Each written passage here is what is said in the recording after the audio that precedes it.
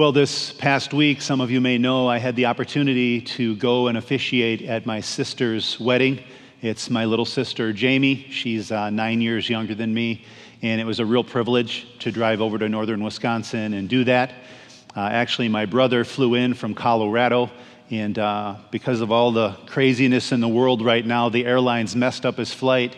And instead of flying into Rhinelander, Wisconsin, which was 30 minutes from my parents' house, he flew into Minneapolis, and as I was driving from Bemidji to northern Wisconsin, I stopped by Minneapolis on my way and, uh, and picked him up. So, all total, I drove over 1,600 miles uh, in a seven day stretch there.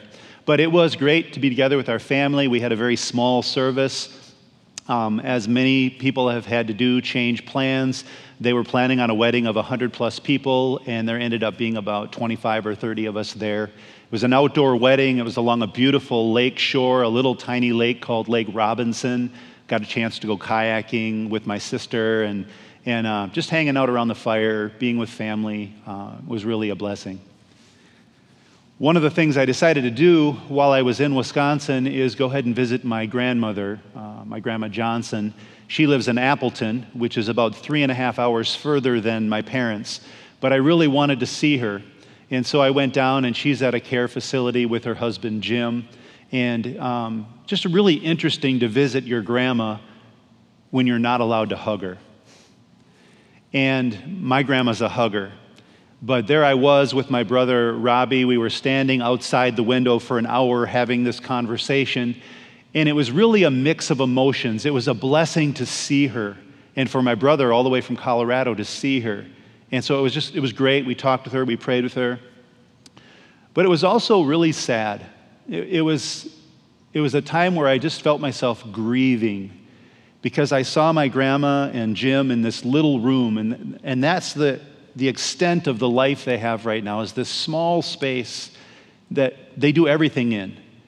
And I felt blessed on, on the one hand that I got to drive off and do what I wanted to, but I just felt so badly for her.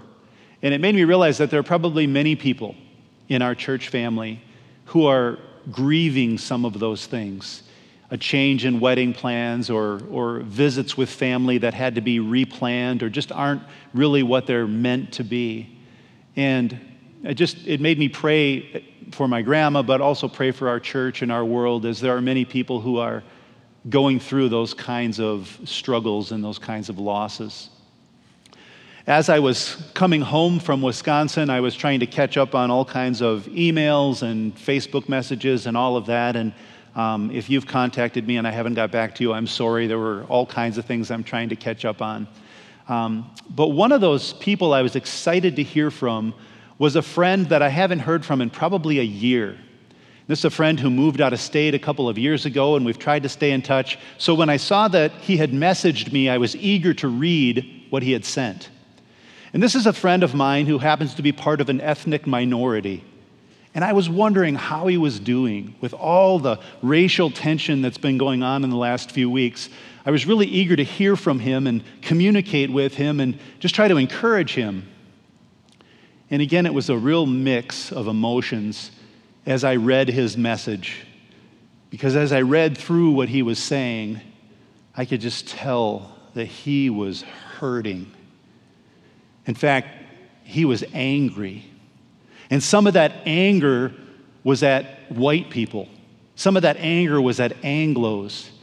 And I don't know if he meant it to be directed at me, but that's how it felt. So even though he's a friend of mine, and I, I consider him a friend, and I hope he still considers me a friend, it was such a difficult message to read and then try to respond to and, and rather than being defensive or trying to explain anything that he was talking about, I just tried to let him know I love you, friend. I'm grieving with you over all the racial tension, and I'm so sorry. These are hard times, hard times to be in relationship and to know just how to, how to live for God and how to, how to keep some hope and some joy each day. I was excited to know that while I was gone in Wisconsin, that we announced that our church is going to be reopening. And that really has been such an encouragement to me to know that we finally picked a date. After all this time, we have a Sunday picked out, June 28th, that we're able to get back together. Because I miss our church family and I miss gathering here. And I know not everyone's going to come back right away, and that's totally okay. But I look forward to being here together June 28th, and I look forward to bringing a message from God's Word and having more than five or six people in the room gathered here on Sunday morning. And so I'm excited for that. Uh, I miss you, and um, we're going to get through this, but it's not always easy. Well, last week, Pastor Elvin kicked off our summer series on the Proverbs. If you didn't get a chance to listen to the message, you'll want to. It's a good sermon on trusting God even when it's difficult. And it was a great sermon for me to listen to and be encouraged by as I was going through some of the things I just talked about. If you did miss that sermon, I urge you to go on our website and check it out later today. Today, we're going to take a look at Proverbs 1 1 through 7. And as we do that, we're also going to do a bit of an overview of who wrote the Proverbs and how we can make the most of these Proverbs, how we can really get the maximum impact as we think about the wisdom that is contained in God's Word. I know I can't see most of you, but I want to ask you if you would raise your hand if you think we need wisdom in our world today. Yeah, all seven hands in the room just went up. And I hope in your living room or wherever you're watching on live stream that you would raise your hand and, and agree we desperately need wisdom today. In this time of COVID 19, all these unprecedented challenges, we need wisdom. In this time of incredible racial tension, not just locally or in our state, but around our nation, around the world, we need wisdom. We need discernment to know how to handle this. And even as we've been making plans to reopen the church building, we've prayed over and over for wisdom that God would guide us on how to reopen our church building and how to be safe and when to do that and how to navigate the disappointments that some people wanted to open sooner and some people think we're opening too soon. And we need wisdom. As we journey along on this quest for wisdom, there's something that we should make clear our quest is not just academic. It's not just intellectual knowledge that we can learn and then master. Not at all. Our quest is for wisdom. Wisdom that is hard won. Wisdom that is gained over a lifetime of seeking God. Now, to be sure, wisdom does include right thinking but it also includes right behavior. It includes finding God's will and then obeying that will. So, to put it another way, wisdom is for disciples only. Don't come to God's word and, and look to, for wisdom if you're just kind of a little curious. Because wisdom is not for curiosity seekers or for passersby who want to just kind of tip their, dip their toes into the water. Wisdom is a high calling, it is a challenging calling. Becoming fully devoted followers of Jesus together means we need to find God's wisdom. It's a lifelong quest to know His will. So before we dive in, I would invite you to please bow and pray with me. Heavenly Father, we do need your wisdom, not our own wisdom. As Pastor Elvin just preached last week, not according to our own understanding. Lord, we need your direction. So we pray as we come to your word again this morning that you would enlighten our understanding, give us eyes to see and ears to hear, give us hearts that are teachable. Lord, we plead with you for the particular wisdom we need in these challenging days. So please help us now, we ask. In Jesus' name, amen. Well, as I was thinking about this series on the book of Proverbs, I wondered to myself, how well do we really know the book of Proverbs? If you're someone who has read much of the Bible, if you've been reading it for at least a couple of years or more, odds are you have read portions of Proverbs. In fact, odds are you've probably read the entire book of Proverbs. And for some of us, we have read through all 31 chapters of Proverbs many, many times. So that got me curious. If I were to read a list of wise sayings, some of which are in Proverbs, and some are from, say, Benjamin Franklin, would you be able to tell the difference? Would we know which ones are God's words and which ones are human words, which ones are wisdom of the world? So, just for fun, let's find out just how well we know the book of Proverbs with a little game that I've put together for us this morning. We're going to play games in church with a purpose. Games called Bible or Benjamins. Now, when I read off these sayings, I'm going to have you vote. Whether you're in the room here with me or wherever you are in your living room, and even if you're there alone or if you have a few people with you, I'm going to have you vote on whether you think it's the Bible or Benjamin's. And here's how you're going to vote. If I read a wise saying and you think that's in the Bible, I want you to raise your right hand as though you're swearing on the Bible. This is biblical truth. That's how you'll vote for a Bible saying. But if you think it's a saying by Benjamin, I want you to do this like doling out the Benjamins. If you don't know, Benjamin Franklin's picture's on the $100 bill. And so just kind of pretend you're doling out the Benjamins if you think Benjamin said it. So think it's in the Bible, right hand. Think Benjamin wrote it, just go like this and look around the room, see what other people are doing, hold them accountable. We're going to do a few of these. Ready? You better be, because I can't hear you talking back to me. So I hope you're ready. A gentle tongue can break a bone. Is that God's word? Or is that Benjamin's word? Go ahead and vote. All kinds of pressure. That is from the Bible. Proverbs 25 15. A gentle tongue can break a bone. Here's the next one an ounce of prevention is worth a pound of cure.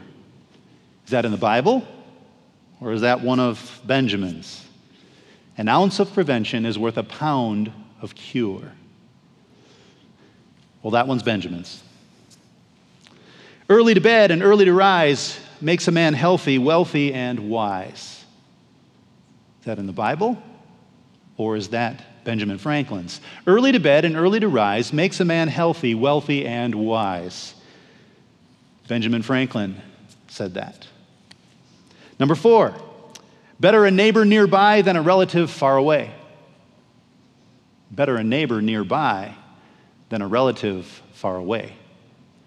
Is that the Bible? Or is that one of Benjamin's? It's in the Bible. Proverbs 27 10. Diligence is the mother of good luck. Diligence is the mother of good luck. Bible or Benjamin? I'm seeing lots of this in the room. That's correct. That is Benjamin. Like vinegar poured on a wound is one who sings songs to a heavy heart. Boy, what an important piece of wisdom for us to think about in our world. So many people feeling wounded, hurting. And that one's in the Bible Proverbs 25 20. The leech has two daughters. Give, give, they cry.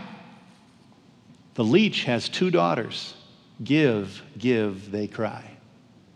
That one's in the Bible. Proverbs 30 15.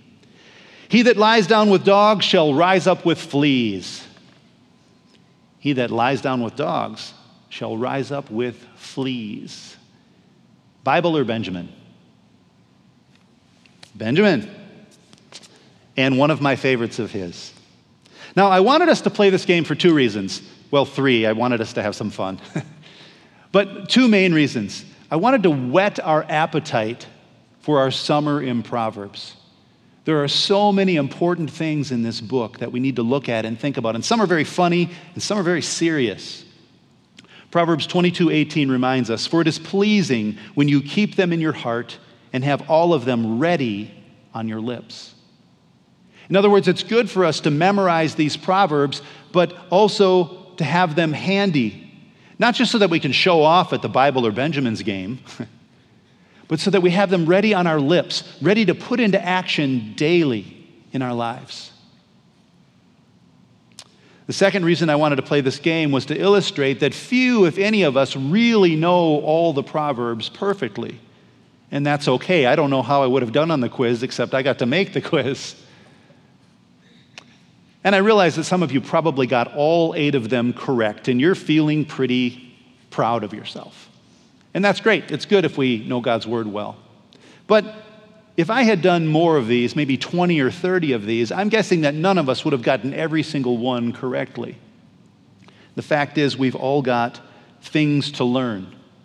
We have something that we can learn from the Proverbs, and we're reminded of that from the, the section of verses that Pastor Eric just read. Proverbs 1, 4, and 5 reminds us that the Proverbs are for giving prudence to those who are simple, knowledge and discretion to the young.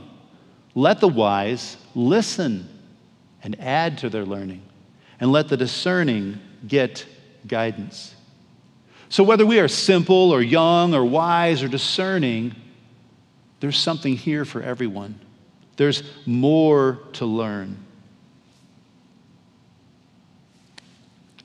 In fact, the book of Proverbs was compiled for those who are teachable. We need to be teachable. So, brothers and sisters in Christ, let's get ready to learn the Proverbs. Let's let them teach us.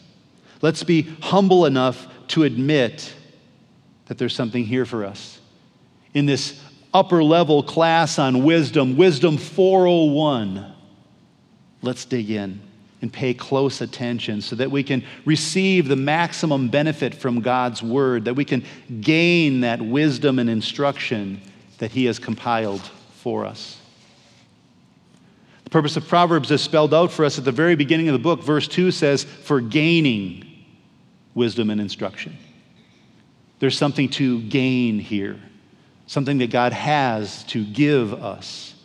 This word wisdom is actually, it shows up over 40 times in the book of Proverbs, and lots of other words like wisdom show up as well.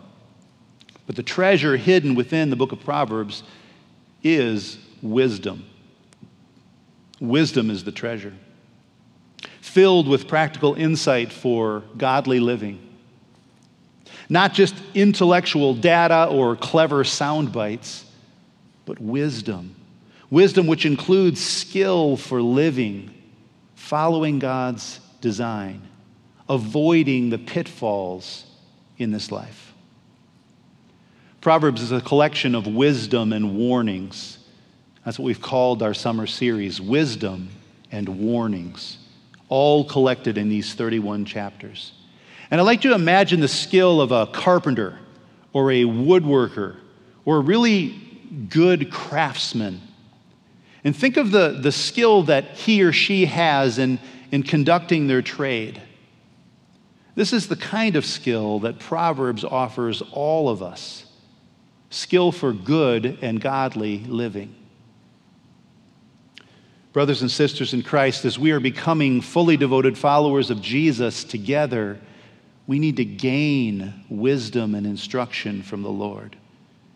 We need the wisdom of these proverbs to help us succeed. So let's do that. The book of Proverbs was compiled for those who are teachable. Let's be teachable people. Proverbs 1 1 begins the Proverbs of Solomon, son of David, king of Israel. Solomon's a fascinating man. He lived a very interesting life. He was a king, his dad was a king. He was the son not only of King David, but of Bathsheba, is probably an interesting mom to get to know. Solomon is the one that God chose to build this incredible temple in Jerusalem. But more specific to what we're learning this morning, Solomon was given this incredible wisdom. He was one of the wisest people to ever walk the face of the planet. 1 Kings 4 teaches us that God gave Solomon wisdom and very great insight, and a breadth of understanding as measureless as the sand on the seashore. Solomon's wisdom was greater than wisdom of all the people of the East, greater than the wisdom found in Egypt. And then 1 Kings 4 tells us he spoke 3,000 proverbs. This one guy. Now, interestingly enough, the Holy Spirit did not preserve all 3,000 of these proverbs in the Bible for us. Kind of interesting to think about. Now, we do have a good chunk of them, though, and we can assume that God preserved and protected and passed along the ones that He wanted us to have access to. The fact is, Solomon was not really the only contributor to the book of Proverbs. The book of Proverbs was compiled under the inspiration of the Holy Spirit. The reason I'm using this word compiled is that the book actually has multiple authors, multiple contributors. And this is similar to what we learned last summer when we looked at the book of Psalms. And we recognize that King David wrote many of the Psalms, but he did not write all 150 of the Psalms. And in a similar way, Solomon did not write all 31 chapters of Proverbs. See, Proverbs is actually this huge collection of wise sayings that was compiled over time. So even though Psalm 1:1 begins by saying the Proverbs of Solomon, only about half of them were directly written by him. And even a quick skimming of the 31 chapters makes it clear that Solomon partnered with other wise people, people like Agur and, and King Lemuel and others. It says that right in the text.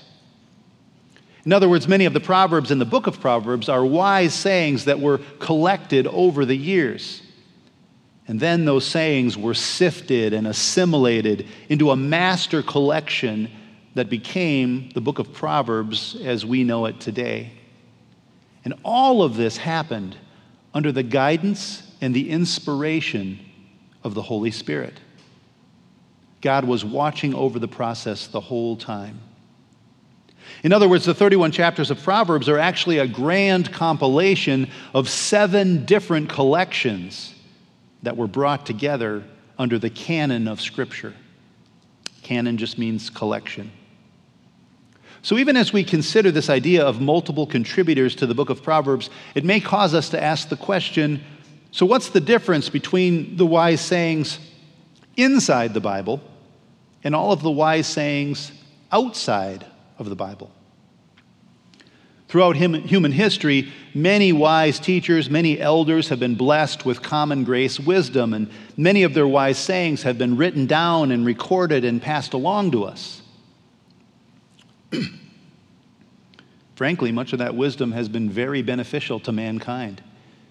Much of that wisdom has benefited civilization as we know it. This actually resonates with a sermon from two weeks ago where we talked about submitting to authorities. We talked about this idea about how God provides this common grace wisdom to governing officials so that they can govern well. Even governing officials who aren't believers, who don't even know God or love God, their ability to govern was given to them by God so that God could bless humanity in that way. But what makes the wisdom that we find in the book of Proverbs special? What makes it unique? Well, first of all, it's authoritative.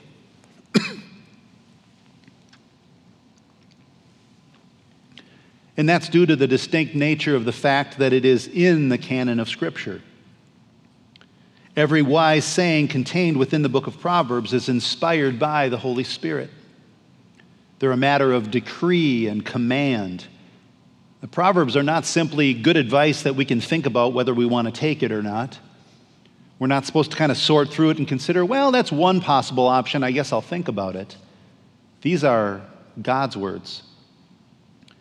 And this is what Proverbs 1 3 is driving at. The book of Proverbs is for receiving instruction in prudent behavior, doing what is right and just and fair. Therefore, in contrast to all the other wise sayings of Benjamin Franklin or whoever else it might be, the wise sayings in the book of Proverbs speak on God's authority. And that's what makes them distinct, it makes them special. Because God is the one who ultimately determines what is right and what is just and what is fair. We live in a day and age, though, where many have deemed truth to be relative change based on a person's frame of reference.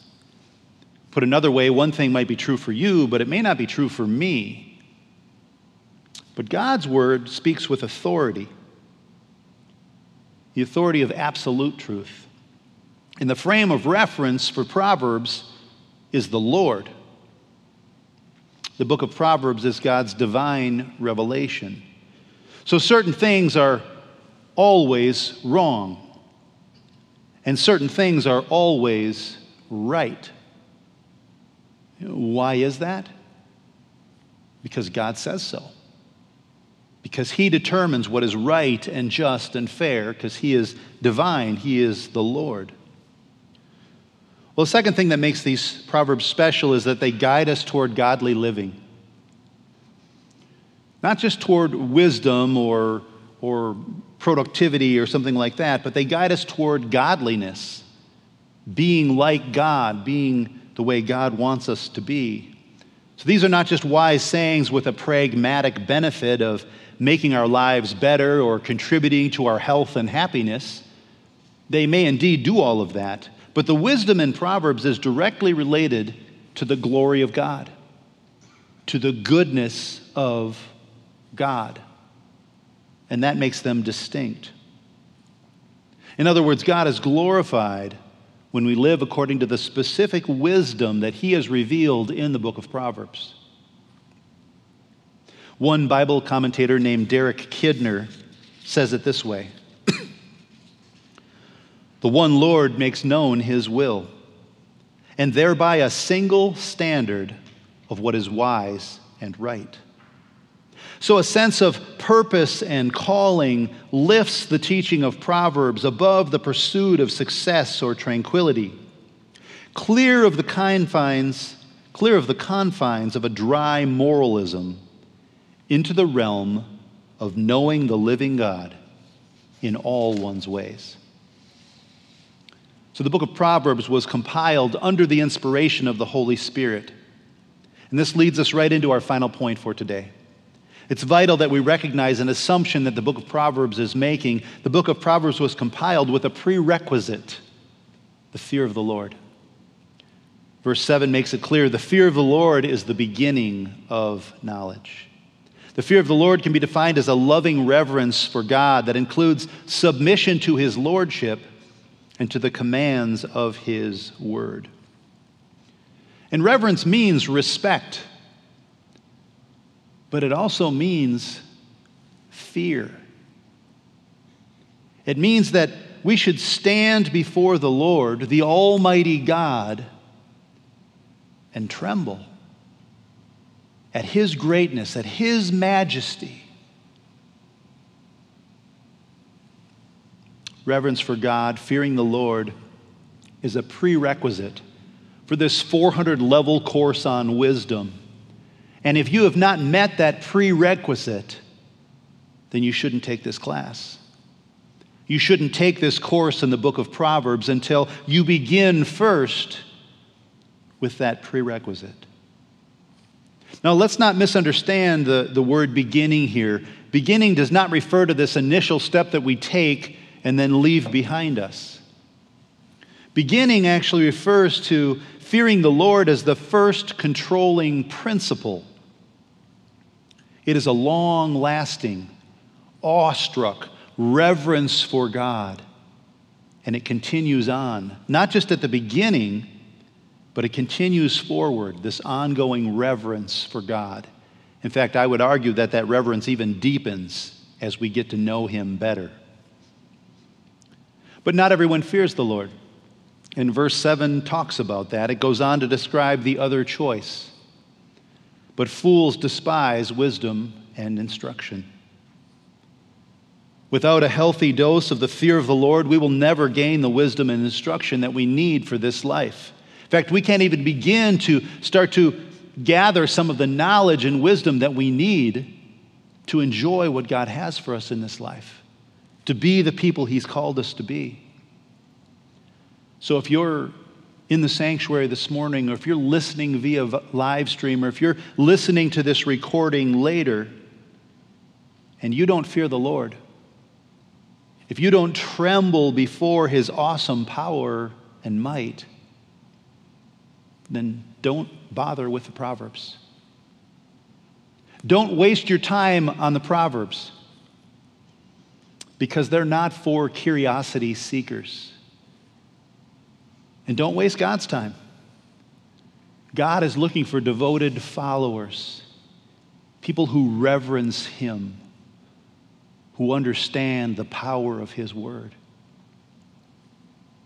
As we wrap up this opening text on wisdom, let's conclude with one important question How do we get wisdom?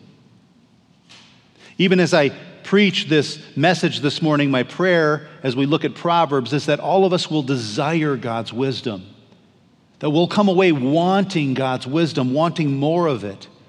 But how do we actually get it? How do we attain wisdom? Here's some good news wisdom is available for anyone who wants it. In fact, it's, it's almost a little bit offensive the way it says it, but the opening seven verses of Proverbs makes it clear that even fools, even simpletons, are invited to come and learn wisdom. So, as we ask this question, how do we get wisdom? Let's consider an answer that we find in Proverbs 2. Proverbs 2 says that we get wisdom in at least two ways. First of all, wisdom comes from God alone. Proverbs 2 6 says, For the Lord gives wisdom, from his mouth come knowledge and understanding. So if we sincerely want to get wisdom, we need to ask God for it. He alone is the source of true wisdom. We can't drum it up on our own effort. We can't study our way into it and develop our own intellect to become smart enough to be wise. That's not what this is talking about. In fact, James 1 5 and 6 says that if any of you lacks wisdom, you should ask God, who gives generously to all without finding fault, and it will be given to you. But when you ask, you must believe and not doubt, because the one who doubts is like a wave of the sea, blown and tossed by the wind. In other words, in order to get wisdom, we need to get faith first. We need to believe in God first. Proverbs 2 also suggests a second way to get wisdom. Wisdom comes by diligently seeking. Proverbs 2, 4, and 5 says, And if you look for it as for silver, search for it as for hidden treasure, then you will understand the fear of the Lord and find the knowledge of God. So, if we sincerely want to get wisdom, we should diligently seek after it. We should put some energy into it because God wants to reveal His wisdom for us today. That's the reason the book of Proverbs was recorded and translated and handed down so that we could have access to it today. But are we genuinely seeking God's wisdom? Do we want it? Will we do what it takes to get it? If we truly desire to attain God's wisdom, it begins with the fear of the Lord. Without the fear of God in us, these proverbs won't really help. They won't really penetrate into our hearts and minds. They won't really guide us as they're intended to. The fear of the Lord is the beginning of knowledge, but fools despise wisdom and instruction. So, what do you say? Will you despise God's wisdom and instruction? Or will you fear the Lord? Will you get the wisdom that you need for this life? The way of wisdom, the beginning of knowledge, is the fear of the Lord. Let's pray together. Heavenly Father, we are so grateful that you offer us wisdom because there are so many times that we have been foolish. And there are so many times where we felt like a deer trapped in the headlights where we just we don't know what to do. We don't know what to say. And we need wisdom in those moments. And so we pray, Lord, that you would help us to be teachable. Teach us to have an appropriate fear and reverence for you. And may this lead us to your wisdom. And may this wisdom not only help us, not only help us to help others, but Lord, may it bring you great glory. And so we ask for your wisdom. We ask this together in Jesus' name. And all God's people said, Amen.